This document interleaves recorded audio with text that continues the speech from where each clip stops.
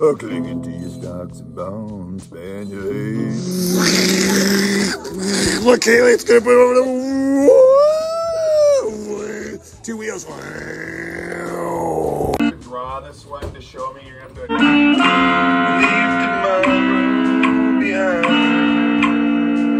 to. Studying Paris-Roubaix today in our lunchtime with cycling.